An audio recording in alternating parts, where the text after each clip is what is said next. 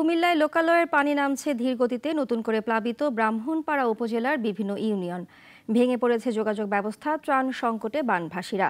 বুড়িচং উপজেলার শঙ্কুচায় আজ্ঞাপুর থেকে জেলার বন্যা পরিস্থিতি জানাচ্ছেন সহকর্মী দেলোয়ার হোসাইন আকাইদ।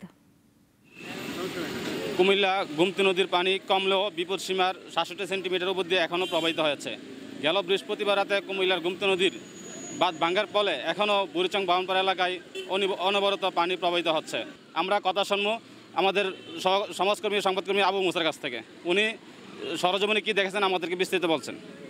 আসলে দেখেন, আমি গত দিন চারটি দিন কিন্তু মাঠে থেকে আমরা সংবাদ সংগ্রহের পাশাপাশি কিন্তু বিভিন্ন উদ্ধার কাজের যারা কর্মী রয়েছেন, তাদের সাথে আমরা সহযোগিতা করে যাচ্ছি। বাস্তব অর্থে হচ্ছে কি, মানুষ দুর্গম। আমরা যতদূর দেখেছি, রাস্তার আশপাশে যে সমস্ত আশ্রয়কেন্দ্রগুলো রয়েছে, এই জায়গাগুলোতে খাবার পৌঁছচ্ছে, চিকিৎসা সামগ্রী পৌঁছচ্ছে। কিন্তু বাস্তব অর্থে যে সমস্ত দুর্গম অঞ্চলগুলোতে রয়েছে এখনও পর্যন্ত এমনও কিছু জায়গা রয়েছে, এখন পর্যন্ত কিংবা চিকিৎসা সেবা বা খাবার তেমনভাবে পৌঁছায় নাই। তো এইটাই ছিল মোটামুটি এখানকার অবস্থা আর কি। ধন্যবাদ আপনাকে।